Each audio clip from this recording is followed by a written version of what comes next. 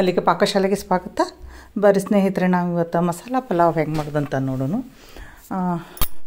ಅಗ್ದಿ ರುಚಿಯಾಗಿ, ಮನೆಯೊಳಗಿದ್ದಿದ್ದ ಎಲ್ಲ ಪದಾರ್ಥ ತೊಗೊಂಡು ಯಾವ ಟೈಪ್ ನಾವು ಈ ಥರ ಮಸಾಲೆ ಪಲಾವ್ ಮಾಡ್ಕೋಬೋದು ಅಂತ ತೋರಿಸ್ತೀನಿ.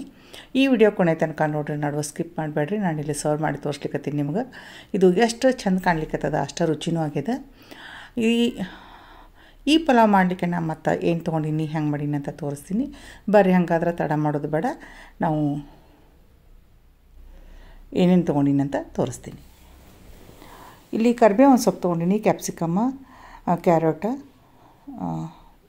ಈರುಳ್ಳಿ, ಹಸಿಮೆಣಸಿನ್ಕಾಯಿ, ಇಷ್ಟು ತೊಗೊಂಡಿನಿ. ಬಟಾಟಿ ತೊಗೊಂಡಿನಿ ಒಂದೆರಡು ಹೋಳಿಟ್ಕೊಂಡಿನಿ. ಕೊತ್ತಂಬರಿನೂ ಕಟ್ ಮಾಡಿ ಇಟ್ಕೊಂಡಿನಿ ಒಂದು ನಾಲ್ಕು ಚಮಚ ಎಣ್ಣೆ ಒಂದೆರಡು ಚಮಚ ಬೆಣ್ಣೆ ಒಂದೆರಡು ಟೊಮೆಟೊ ಹೋಳಿಟ್ಕೊಂಡಿನಿ ಅದನ್ನು ಆಮ್ಯಾಗ ಇದು ಬಟಾಣಿ, ಒಣ ಬಟಾಣಿ ನಾನು ಒಂದು ಎಂಟು ತಾಸು ನೀರೊಳಗೆ ನೆನೆಸಿ ಇಟ್ಕೊಂಡಿನಿ. ರಾತ್ರಿ ನೀರಾಗ ಹಾಕಿಟ್ಟಿದ್ದೆ. ನೀರು ಹಾಕಿದ್ರೆ ಈ ಥರ ಒಣಗ್ತಾವು. ಇಲ್ಲ ನಿಮ್ಮ ಹತ್ರ ಹಸಿ ಪೀಸ್ ಇದ್ರೆ ತೊಗೋರಿ. ಆಮ್ಯಾಗ ಕೊತ್ತಂಬರಿ ಬೀಜ ಒಂದು ಚಮಚೆ, ಮೆಂತೆ ಒಂದು ಅರ್ಧ ಚಮಚೆ, ಒಂದು ಚಕ್ರ ಮಗ್ಗಿ ಒಂದೆರಡು ಇಂಚ ದಾಲ್ಚಿನ್ನಿ, ಒಂದು ಅರ್ಧ ಜಜ್ಜಿಕಾಯಿ ಒಂದು ಹತ್ತು ಹನ್ನೆರಡು ಕರಿಮೆಣಸು ಏಲಕ್ಕಿ ಒಂದು ನಾಲ್ಕು ಮತ್ತು ಪಲಾವ್ ಎಲೆ ಒಂದೆರಡು, ಎಳ್ಳು ಒಂದು ಚಮಚೆ ನಂತರ ಒಣ ಮೆಣ್ಸಿನ್ಕಾಯಿ ಒಂದು ನಾಲ್ಕರಿಂದ ಐದು ಒಣ ಮೆಣ್ಸಿನ್ಕಾಯಿ ಮುರಿದಿಟ್ಕೊಂಡಿನಿ. ಒಂದು ಸ್ವಲ್ಪ ಒಂದು ಚಮಚದಷ್ಟು ಹಿಂಗೆ, ಒಂದು ಅರ್ಧ ಚಮಚ ಅರ್ಶಿಣ ಪುಡಿ, ಒಂದು ಚಮಚ ಜಿಂಜರ್ ಗಾರ್ಲಿಕ್ ಪೇಸ್ಟ್, ರುಚಿಗೆ ತಕ್ಕಷ್ಟು ಉಪ್ಪು, ಒಂದು ಅರ್ಧ ಚಮಚೆ ಒಂದು ಚಮಚೆ ಜೀರಿಗೆ, ಒಂದು ಚಮಚೆ ಸಾಸಿವೆ, ಆಮ್ಯಾಗ ಒಂದು ನಾಲ್ಕರಿಂದ ಐದು ಚಮಚದಷ್ಟು ಮೊಸರು, ಆಮ್ಯಾಗ ಇದು ರೋಸ್ಮೇರಿ ಅಂಥೇಳಿ ಇದು ನನ್ನ ಕಡೆ ಇತ್ತು ಅಂಥೇಳಿ ನಾನು ಅನ್ನಕ್ಕೆ ಹಾಕ್ಲಿಕ್ಕತ್ತೀನಿ ಇದು ಹಾಕೋ ಬೇಕಂತೇನಿಲ್ಲ. ಇರದೇ ಇದ್ದರೂ ನಡೀತದೆ. ಆಮ್ಯಾಗ ಒಂದು ಬಟ್ಟಲ್ದಷ್ಟು ಸೋನಾ ಮಸೂರಿ ಮತ್ತು ಒಂದು ಬಟ್ಟಲ್ದಷ್ಟು ಬಾಸ್ಮತಿ ಅಕ್ಕಿನ ನಾನು. ಇಲ್ಲಿ ನೀರಿನೊಳಗೆ ನೆನಿಲಿಕ್ಕಿಟ್ಟೀನಿ ಒಂದು ಐದು ನಿಮಿಷ ನಂತರ ಸಾಕು. ಈಗ ಮೊದಲು ನಾವು ಒಣ ಮಸಾಲೆ ಎಲ್ಲ ಏನದಲ್ಲ ಅದನ್ನೆಲ್ಲ ಹುರಿದ ತಕ್ಕೋಬೇಕು. ಒಂದು ಅರ್ಧ ಚಮಚದಷ್ಟು ಎಣ್ಣೆ ಹಾಕಿ ಇದನ್ನು ನಾವು ಮೊದಲ ಹುರಿದ ತಕ್ಕೊಳ್ಳೋನು ಸಣ್ಣ ಉರಿ ಮ್ಯಾಗ ಚೆಂದಂಗೆ ಹುರಿಬೇಕು. ಈ ಮಸಾಲೆ ಕಮ್ಮ ಅಂತ ವಾಸನೆ ಬರ್ತದೆ. ಸ್ವಲ್ಪ ಕೆಂಪು ಬಣ್ಣಕ್ಕೆ ಬಂದ ಬರುವವರೆಗೂ ಹುರಿದು ನಾವು ಇದನ್ನು ತೆಗಿಬೇಕು.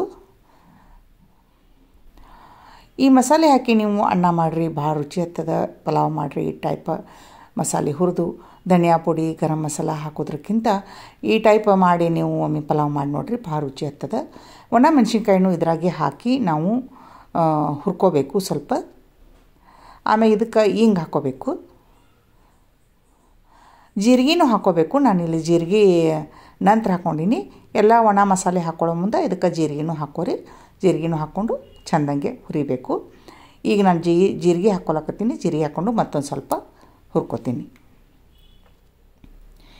ಈಗ ಒಣ ಮಸಾಲೆ ಎಲ್ಲ ಹುರಿದ ನಂತರ ಅದು ಆರಬೇಕು. ಆರಿದ ನಂತರ ನಾವು ಮಿಕ್ಸರ್ ಜಾರಿಗೆ ಹಾಕಿ ಸಣ್ಣಗೆ ಅದರದ ಪೌಡ್ರ್ ಮಾಡ್ಕೊಂಡು ಬರೋಣ.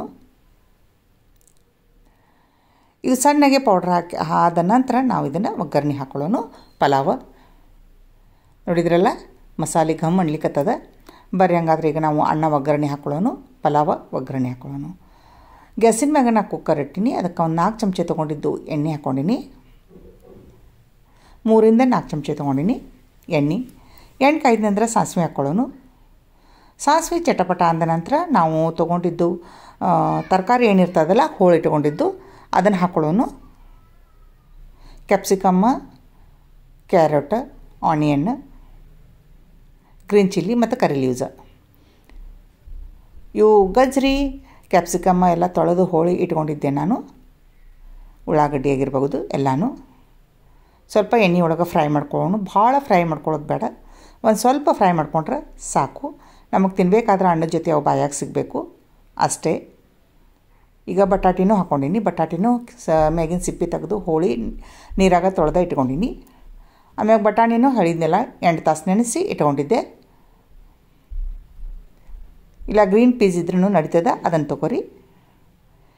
ಇದನ್ನೆಲ್ಲ ಸ್ವಲ್ಪ ಫ್ರೈ ಮಾಡ್ಕೊಂಡ ನಂತರ ಇದಕ್ಕೆ ಟೊಮೆಟೊ ಹಾಕ್ಕೊಳ್ಳೋನು ಟೊಮೆಟೊನೂ ಸ್ವಲ್ಪ ಫ್ರೈ ಆಗಲಿ, ಒಂದೆರಡು ಸ್ವಲ್ಪ. ಒಂದು ಸ್ವಲ್ಪ ತಿರುವಾಡೋನು ಇದನ್ನು. ಈಗ ಸ್ವಲ್ಪ ತಿರುವಾಡಿದ ನಂತರ ನಾವು ಇದಕ್ಕೆ ಜಿಂಜರ್ ಗಾರ್ಲಿಕ್ ಪೇಸ್ಟ್ ಹಾಕೋಣ. ಅದನ್ನೂ ಸ್ವಲ್ಪ ಮಿಕ್ಸ್ ಮಾಡ್ಕೊಂಡು ಎಣ್ಣೆ ಒಳಗೆ ತಿರುಗಾಡೋನು ನಂತರ ನಾವು ಇದಕ್ಕೆ ಬೆಣ್ಣೆ ಹಾಕೊಳ್ಳೋನು. ಬೆಣ್ಣೆ ಹಾಕಿ ಎಲ್ಲ ಚೆಂದಾಗೆ ಮಿಕ್ಸ್ ಮಾಡ್ಕೊಳ್ಳೋಣ ಅದನ್ನು ಈ ಒಂದೆರಡು ಚಮಚೆ ಬೆಣ್ಣೆ ಹಾಕಿ ನೀವು ಪಲಾವ್ ಮಾಡಿ ನೋಡಿರಿ, ಅದ್ರ ಟೇಸ್ಟ್ ಹೆಂಗೆ ಬರ್ತದೆ ಅಂತ. ಅದರ ಟೇಸ್ಟ್ ಒಂದು ಡಿಫ್ರೆಂಟ್ ಟೈಪ್ ಬೇರೆನೇ ಬರ್ತದೆ, ಭಾಳ ಟೇಸ್ಟ್ ಆಗ್ತದೆ. ಈ ಟೈಪ್ ನೀವು ಮಸಾಲೆ ಪಲಾವ್ ಒಮ್ಮೆ ಮಾಡಿ ನೋಡಿರಿ, ಬೆಣ್ಣೆ ಹಾಕಿ. ಈಗ ಇದನ್ನೆಲ್ಲ ಕೈದು ಆದ ನಂತರ ಈಗ ನಾನು ರೋಸ್ ಬೇರೆ ಹಾಕೋತೀನಿ. ಒಂದು ಎಂಟು ಹತ್ತು ಎಸಳ ಉದ್ದನು ಇವು. ಒಂದು ಎಂಟು ಹತ್ತು ಎಸಳ ಹಾಕೋತೀನಿ. ನಂತರ ಅರ್ಶಿಣ ಪುಡಿ. ಮಸಾಲೆ ರುಬ್ಬಿದ್ದು ಎಲ್ಲ. ಒಣ ಮಸಾಲೆ. ಇದನ್ನೆಲ್ಲ ಈಗ ಒಂದು ಸ್ವಲ್ಪ ಮಿಕ್ಸ್ ಮಾಡ್ಕೊಳ್ಳೋಣ ಮಿಕ್ಸ್ ಮಾಡ್ಕೊಂಡ ನಂತರ ನಾವು ಇದಕ್ಕೆ ತೊಳೆದಿಟ್ಟಿದ್ದು ಅಕ್ಕಿ ಹಾಕೊಳ್ಳೋನು ಮೊಸರು ಹಾಕೊಳ್ಳೋನು ಆಮ್ಯಾಗ ಅಕ್ಕಿ ಹಾಕೊಳ್ಳೋನು ಸ್ನೇಹಿತರೆ ನಮ್ಮ ವಿಡಿಯೋ ನೋಡಿದವರು ಯಾರೇನೋ ಸಬ್ಸ್ಕ್ರೈಬ್ ಮಾಡಿಲ್ಲ, ಅವರು ಮರೀದೆ. ಸಬ್ಸ್ಕ್ರೈಬ್ ಮಾಡಿರಿ ಲೈಕ್ ಮಾಡಿರಿ ಶೇರ್ ಮಾಡಿರಿ, ಮತ್ತು ಬೆಲ್ ಐಕಾನ್ ಪ್ರೆಸ್ ಮಾಡಿರಿ. ಹೊಸದಾಗಿ ನೋಡೋರು ನಿಮ್ಗೆ ಇಷ್ಟವಾಗಿದ್ರೆ ಲೈಕ್ ಮಾಡೋದು ಮರಿಬೇಡ್ರಿ ಸಬ್ಸ್ಕ್ರೈಬ್ ಮಾಡೋದನ್ನು ಮರಿಬೇಡ್ರಿ ಇದೆಲ್ಲ ಮಿಕ್ಸ್ ಮಾಡ್ಕೊಂಡ ನಂತರ ಇದಕ್ಕೆ ನಾವು ಮೊಸರು ಹಾಕೋಣ ಇದನ್ನು ಸ್ವಲ್ಪ ಮಿಕ್ಸ್ ಮಾಡ್ಕೋಣ ನೋಡಿದ್ರಲ್ಲ, ಎಷ್ಟು ಕಲರ್ಫುಲ್ಲಾಗಿ ಕಾಣ್ಲಿಕ್ಕತ್ತದ ಗಮ್ ಅಂತ ಮಸಾಲೆ ವಾಸನೆನೂ ಬರ್ಲಿಕ್ಕತ್ತದ ಎಲ್ಲ ಹುರಿದು ಹಾಕಿದ್ದು ಮಸಾಲೆ ವಾಸನೆನೂ ಗಮ್ ಮಾಡ್ಲಿಕ್ಕತ್ತದ ಈಗ ನಾವು ಇದಕ್ಕೆ ತೊಳೆದಿಟ್ಟರು ಅಕ್ಕಿ ಹಾಕೊಳ್ಳೋಣ ಇದೆಲ್ಲ ಸ್ವಲ್ಪ ಕುದ್ದಲಿ ಕುದ್ದಂಗೆ ಆಗಲಿ, ಇದು ಒಂದು ಸ್ವಲ್ಪ ಒಂದೆರಡು ಸೆಕೆಂಡ ಕುದ್ದ ನಂತರ ನಾವು ಇದಕ್ಕೆ ಅಕ್ಕಿ ಹಾಕೊಳ್ಳೋಣ ಅಕ್ಕಿನೂ ಸ್ವಲ್ಪ ಈ ಒಗ್ಗರಣೆ ಒಳಗೆ ತಿರುವಾಡೋನು ತಿರುವಾಡಿ ಆಮ್ಯಾಗ ನಾವು ಇದನ್ನು ಇದಕ್ಕೆ ಎಷ್ಟು ಬೇಕಷ್ಟು ನೀರು ಹಾಕೋತೀನಿ. ನಾನಿಲ್ಲಿ ಅಕ್ಕಿ ಒಂದು ಐದು ನಿಮಿಷ ನೆನೆಲಿಕ್ಕೆ ಇಟ್ಟಿದ್ದೆ, ಮತ್ತು ಬಾಸ್ಮತಿ ಅಕ್ಕಿನೂ ತೊಗೊಂಡಿನಿ. ಸೋನಾ ಮೊಸರನ್ನ ಎರಡು ಮಿಕ್ಸ್ ಮಾಡೀನಿ. ನಾ ಎರಡು ಬಟ್ಟಲ್ಗೆ ಎರಡು ಎರಡು ಬಟ್ಟಲ್ ಅಕ್ಕಿಗೆ ಎರಡು ಅಡಿ, ಎರಡೂವರೆ ಬಟ್ಟಲ್ದಷ್ಟು ಅಷ್ಟೇ ನಾನು ನೀರು ಹಾಕೋತೀನಿ. ನೀರು ನಾನು ಬಿಸಿ ಮಾಡಲಿಕ್ಕೆ ಇಟ್ಟೀನಿ ಬಿಸಿನೀರು ಹಾಕೋತೀನಿ. ಎರಡೂವರೆ ಬಟ್ಟಲ ಸಾಕು. ಈಗ ಎರಡೂವರೆ ಬಟ್ಟಲ್ದಷ್ಟು ನೀರು ಹಾಕ್ಕೊಂಡಿನಿ ನೋಡಿದ್ರಲ್ಲ ಎಷ್ಟು ಕಲರ್ಫುಲ್ ಆಗಿದೆ ಅಂತ? ಈಗ ನಾವು ಇದಕ್ಕೆ ಉಪ್ಪು ಹಾಕೊಳ್ಳೋನು, ಸ್ವಲ್ಪ ಕೊತ್ತಂಬರಿ ಹಾಕೊಳ್ಳೋನು. ರುಚಿಗೆ ಎಷ್ಟು ಬೇಕಷ್ಟು ಉಪ್ಪು. ಆಮ್ಯಾಗ ಮ್ಯಾಗ ಒಂದು ಸ್ವಲ್ಪ ಕೊತ್ತಂಬರಿ. ಈಗ ನಾವು ಇದಕ್ಕೆ ಮ್ಯಾಗ ಲಿಡ್ ಮುಚ್ಚಿಬಿಡೋನು ಒಂದು ಎರಡು ವಿಜಲ್ ಆಗಬೇಕು ಎರಡಾದ್ರೆ ಸಾಕು. ಕುದಿಯೋ ನೀರು ಹಾಕ್ಯವು ನಾವು. ಈಗ ಇದಕ್ಕೆ ನಾನು ಮ್ಯಾಗ ಲಿಡ್ ಮುಚ್ಚಿಬಿಡ್ತೀನಿ. ನೋಡಿದ್ರಲ್ಲ ಸ್ನೇಹಿತರೆ ನಮ್ಮದು ಮಸಾಲ ಪಲಾವ್ ಮಾಡೋ ವಿಧಾನ. ಮನೆಯೊಳಗಿದ್ದು ಇರುವ ಎಲ್ಲ ಪದಾರ್ಥ ತೊಗೊಂಡು ಯಾವ ರೀತಿ ಮಾಡೀನಿ ಅಂತ ನಿಮ್ಗೆ ತೋರಿಸ್ಕೊಟ್ಟೀನಿ. ಈ ರೀತಿ ನೀವು ಮಾಡಿರಿ. ಈಗ ಎರಡು ಸಿಟಿ ನಾನು ಹೊಡೆಸ್ತೀನಿ ಇದಕ್ಕೆ. ಕುಕ್ಕರ ಆರ್ಯದ ಎರಡು ಸಿಟಿ ಆಗ್ಯದ. ನೋಡಿದ್ರಲ್ಲ ಪಲಾವ ಎಷ್ಟು ಚಂದ ಕಾಣ್ಲಿಕ್ಕತ್ತದ ಅಷ್ಟೇ ರುಚಿನೂ ಆಗ್ಯದ. ಸ್ನೇಹಿತರೆ, ಈ ಟೈಪ ನೀವು ಒಮ್ಮೆ ಮಾಡಿ ನೋಡಿರಿ. ಹೆಂಗೆ ಅಂತ ಹೇಳ್ರಿ ಮೊಸರು ಮತ್ತು ಸ್ವಲ್ಪ ಬೆಣ್ಣೆ ಹಾಕಿ, ಒಣ ಮಸಾಲೆ ಎಲ್ಲ ಹುರಿದು ಮಾಡಿ, ಪಲಾವ್ ಮಾಡಿ ಒಮ್ಮೆ ತಿಂದು ನೋಡಿರಿ. ನೀವು ಮಾಡೋ ಪಲಾವ್ಕ್ಕೂ ಈ ಮಲ, ಮಾ, ಈ ಈ ರೀತಿ ಪಲಾವ್ಕ್ಕೂ ಏನು ಡಿಫ್ರೆಂಟ್ ಐತಿ ಅಂತ ನೋಡ್ಕೋರಿ. ಈ ಟೈಪ್ ಒಮ್ಮೆ ಮಾಡಿ ತಿಂದು ನೋಡ್ರಿ ಹೆಂಗೆ ಅನಿಸ್ತದೆ ಅಂತ ಹೇಳ್ರಿ. ಇಷ್ಟವಾಗಿದ್ರೆ ಸಬ್ಸ್ಕ್ರೈಬ್ ಲೈಕ್ ಶೇರ್ ಮಾಡೋದು ಮರಿಬೇಡ್ರಿ. ಇಂಥದೇ ಹೊಸ ಹೊಸ ರೆಸಿಪಿ ತೊಗೊಂಡು ನಾನು ನಿಮ್ಮ ಮುಂದೆ ಬರ್ತೀನಿ. ಈ ಟೈಪ ಬಿಸಿ ಬಿಸಿ ಪಲಾವ ಈಗ ನಾವು ಉಣ್ಣು ಬರ್ರಿ ನೋಡಿದ್ರಲ್ಲ, ಅನ್ನ ಎಷ್ಟು ಉದುರ, ಎಷ್ಟು ಚಂದ ಆಗ್ಯದ ಅಂಥೇಳಿ ವಾಸನೆಯೂ ಘಮ್ ಮಾಡ್ಲಿಕ್ಕತ್ತದ